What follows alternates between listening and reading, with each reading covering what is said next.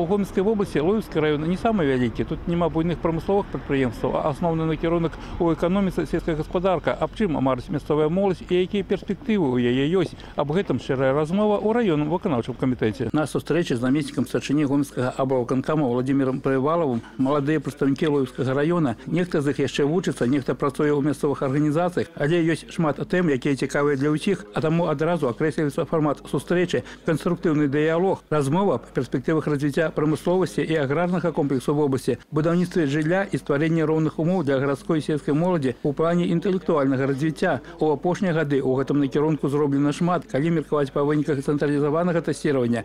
Сёння выпускнікі вясковых школ ні ў чым не саступаюць гарадскім равеснікам. Навучэнка Лоўскага дзяржаўнага педагагічнага каледжа Анастасія Пазняк таксама марыць вучыць дзяцей. Я очень люблю детей, и поэтому выбрала именно эту специальность. У меня еще бабушка учитель и дедушка учитель, и, наверное, еще и это повлияло на выбор моей будущей профессии.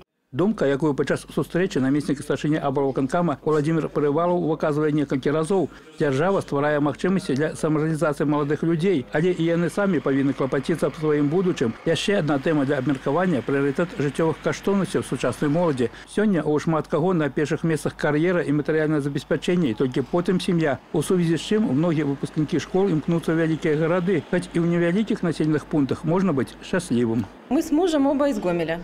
Родились в но распределение так распорядилось, что уехали мы сюда. Муж у меня хирург в Луевской ЦРБ. Когда мы приехали, нам дали жилье. У нас двухкомнатная квартира ведомственная. Мужа моего переподготовили, он еще и врач-офтальмолог у нас. Вот. Коллектив принял очень хорошо, всячески поддерживали. У нас теперь дочка растет, ей третий годик.